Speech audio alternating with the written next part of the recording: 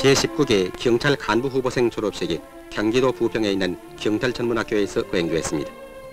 이날 대통령상은 이훈필 경위가, 국무총리상은 이병철 경위가, 그리고 내무부 장관상은 구홍일 경위가 각각 자리했습니다.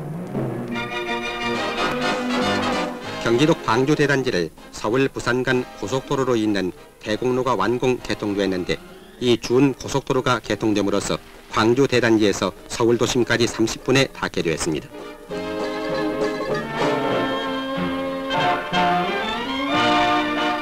제3회 목초의 날 기념식이 충청남도 성환에 있는 국립경축장에서 거행되었습니다.